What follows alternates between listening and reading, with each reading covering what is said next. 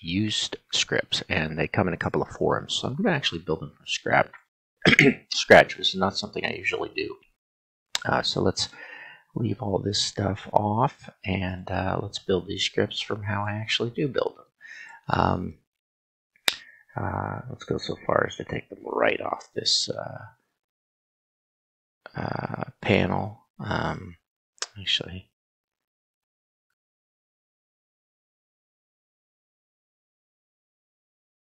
It's one of my most used scripts that I uh, do, and then a couple of forms. And it's something I like to do in Grasshopper as opposed to waiting to bring surfaces in a Rhino and then doing things in Rhino. So we'll just take a look at that. I will erase this for now, um, and possibly I think what I'll do is just put it on uh, preview off and just get them out of the way, which would probably be the best thing to do. And if I make any scripts, I can always come back into it. So um, what you basically want to do is you want to pull in a surface. And I have a surface here that's made. And just for those that are new, I think it might be good to show how I made it. Uh, uh, very simple. I went in and I made a right click here, chose to make a plane, uh, brought a plane out. I click on it, I type in a keyword rebuild. These are things I probably you'll see quite often. I set it for 6 and 6 in the UV direction. And then I put my points on. I grab a couple of points. I pull them up this direction. Grab a couple of points here. Push them down that direction. A couple of points here. Pull them up this direction. We've got a pretty good edited surface. And what I do with that surface is I'll take my points off. I can click on that and I can go into my containers and very quickly grab a surface and with a right click I can set one surface to that and it's been installed. Uh, that said, I can always take all these forms and hide them. And now you can see I have a surface that's ghosted in Grasshopper. First thing I'm going to do that surface, because I may in time build a cluster out of this, is I'm going to take that surface and put it over here and actually bring it into a second one and make sure I reparameterize that. That way if I add this to a cluster, when I end up making clusters of data. Uh, if you don't know what that is, you can take a look at clusters online or we'll try and explain it as we go. You can always have something that's been fed into it and then this tucks into the cluster and then it can change from whatever the input is. This would be the input, a surface that you bring in from, and uh, anything else you bring in will be parameters and number sliders. So let's take that and let's do what um, I like to use uh, to build, and I'll show you this little trick to offset a surface and have fairly controlled. It's not as juicy and fluid as I like it, so I'll show a second script after. I use the ISO trim tool, so you can just type in ISO and then look up here for ISO trim. And there's one of my reparameterized surfaces coming in. Immediately it needs a domain. Now it's not going to need a domain. It's going to need constructing a two, uh, two uh, uh, D domain because we're not dealing with a single one. And what I'm going to do is set this to a very simple number slider creating a domain from 0 to if you just type in 0.5, you'll get a slider from 0 to 1, and you can always bring your slider up to 0.5, and I'll show you exactly why I'm doing that, because as I trim the surface, that's what I've done. I want to trim it not only in the U, but in the V direction, so I've got a quarter of this. And now if you look at the surface, it's got vertices, 1, 2, 3, 4, 0, 1, 2, uh, 0, 1, 0, 1, 2, 3, and how you might number them. What I'm going to do to that surface that I now have is go into Surface Tool and hit Debrep, uh, bring it in, uh, and I will grab an index item from my uh, uh, list uh, item and take the faces, the vertices of that, and ensure that I grab this one, not zero, not one, not three, but two. So if you double click, you can type in quotation marks two, and that will set you a panel at the number two, and you've got an index that indicates the center of this, pretty much the center of this area. Now what happens with that is it's fairly interesting is it's been located right on the surface on that on that area. And what you end up doing is finding the closest point. So we're going to go to surface closest point at that time, surface closest point, which is a common tool. I'm going to use the same reparameterized surface a second time and use that point as the point. And now I have a point here and I have a point uh, item there. And what's nice is that point has been referenced there. And I want to also evaluate the surface which I come in here and I will grab the evaluate surface tool and once again grab my reparameterized uh, surface, put it into here and use this point. Uh, actually use all UV points for that reference. You'll see now I have a point, a normal, a U direction, a V direction, and a frame. Uh, that is what I'm going to use to do my extrusion. And here comes my extrusion. And this is a fun little tool, and I'll show you how you can change it up a little bit. Um, I'm going to grab my extrude tool. I'm going to grab my surface for the last time, pull it into my extrude, and all this data that I just generated, and it can be changed quite a bit too. All this data can be used. I'll show you how you can play with this as well. Um, to be the actual normal that's fed into, I'm going to show you a little quick trick here to amplify just a multiplication. And I will hold down Control Shift to grab the base and plug it in as A. And I actually might Control Shift and plug it in as B. Amplify uh, the normal. Uh, and I shouldn't have taken my surface out. Confused, confused myself with that. Basically, I want to amplify my normal vector. And there I go, messing up again. my amplification will be a number slider 2.00. Sorry for screwing this up. I get a little jumbled. I've never done videos this way. I usually just go off the top of my head and just keep working it. and I guess this would have been easier if I took a look at it this way. Uh, that will be the direction of the extrusion. And you will have created a BREP. The reason I'm bringing that in is because I want to be able to see the item that comes out. And you could see that as an outcome. Uh, if you were going to uh, start to cluster this, do an output of cluster, think of the BREP as the output.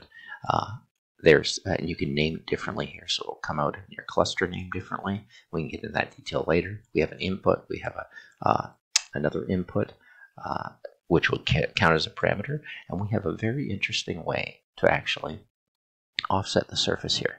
And you can see it's been offset in that direction whatever the normal was at that point too. Now you may say, well, what if I didn't want it offset in that direction? What if I wanted to, and I'll pull my slider back just for uh, purposes of being able to manipulate this. Ugh, sorry about this. It's early morning. I don't know why I'm so fudgy. Let's offset it about 10 so we can see the surface.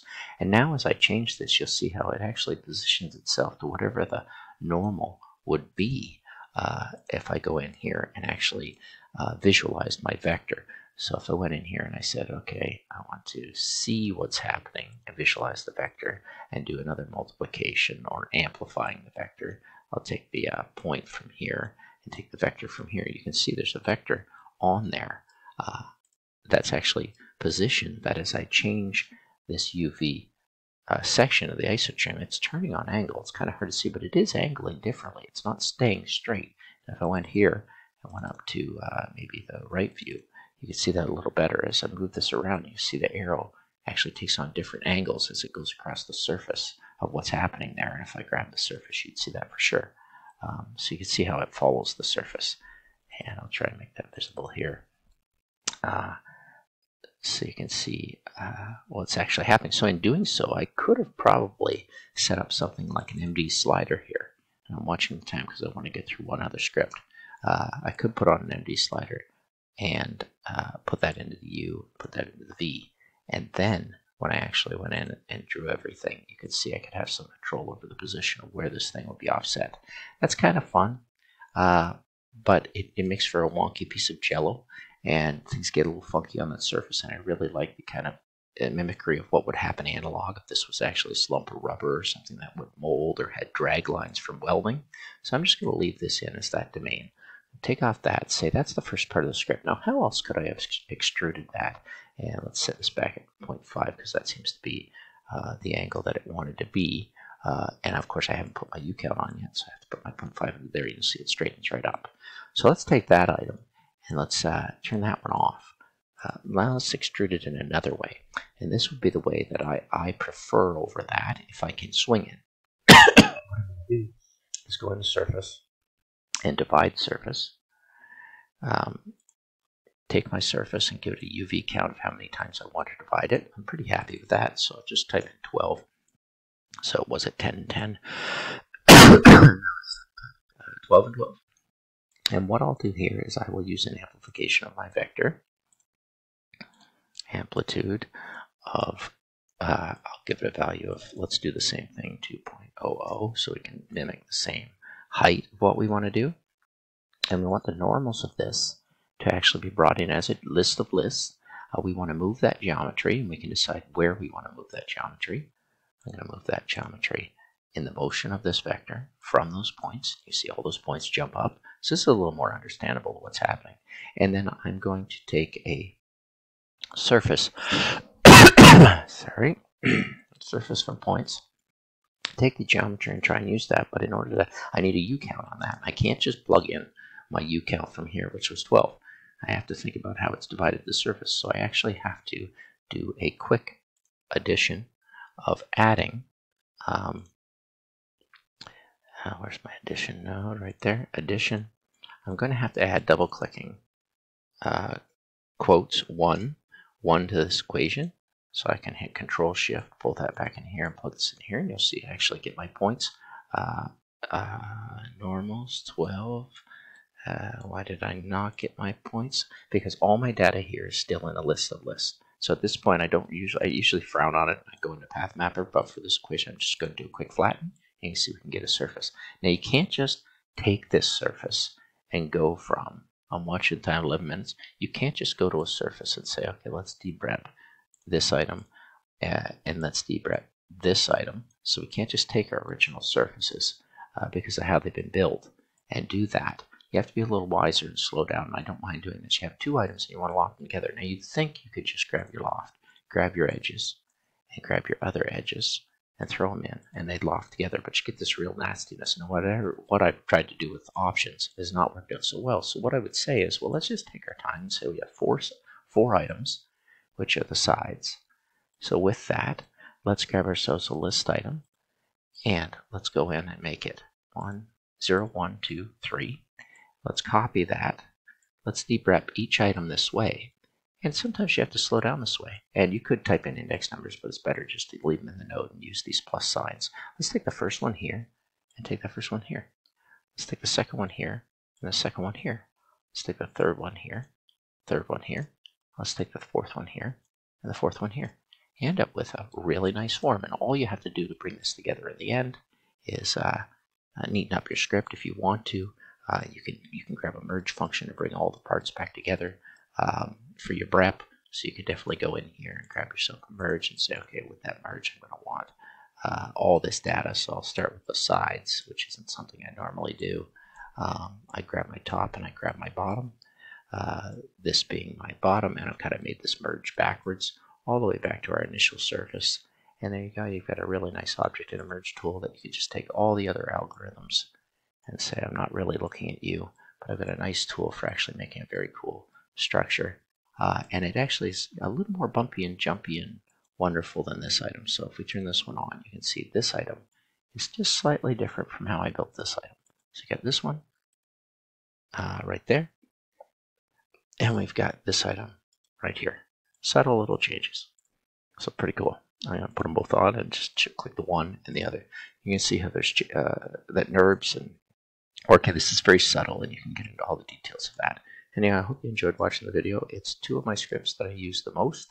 Uh, I have them highlighted in my snippet tools, so I can do extrude surface this way to normals, extrude surface this way to normals. They're right up here. I have so many extrude surface, uh, extrude along normal surface scripts because I just keep reinventing little subtle changes to each one. Anyway, I hope you enjoyed the video. Um, thanks very much for watching.